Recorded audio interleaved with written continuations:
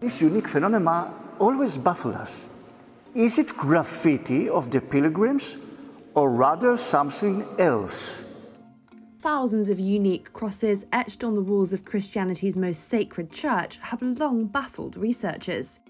But three dimensional imaging has shed light on the mysterious markings, carried out during renovations at Jerusalem's Church of the Holy Sepulchre. What was always assumed to be graffiti appears to be something more organised, according to Amit Re'em, Jerusalem's regional archaeologist at Israel's Antiquities Authority. What we saw with the optical machinery that uh, we map all the crosses inside them and we saw that all of them have the same depths and even the marking of the mason. So if you look at these thousands of crosses, I can say very careful because we are only in the beginning of the research that maybe two or three hand artists made these crosses. It's not a pilgrim, only three hand of the artist. So it's not a graffiti. It's something more organized of the church. Look at it. It's precise. It's accurate. It has the, a very certain depth. The new theory is that medieval masons may have been paid by pilgrims visiting the site to carve into the walls, revered in Christian tradition as the place of Jesus' crucifixion and burial.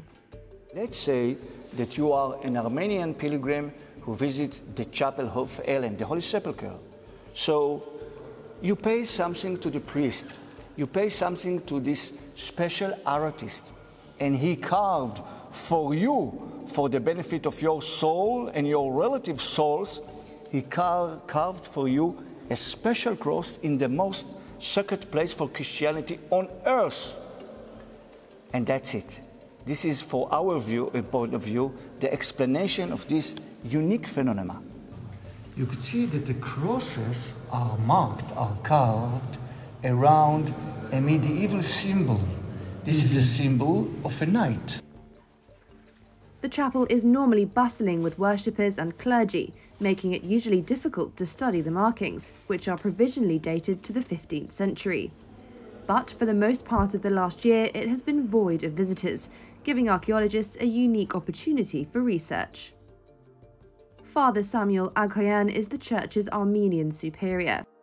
While he hailed the research shedding light on pilgrims of the past, he looked forward to welcoming their contemporaries back again. Now that no, no uh, uh, pilgrims here, it, still their spirit is here. We know, I believe in that.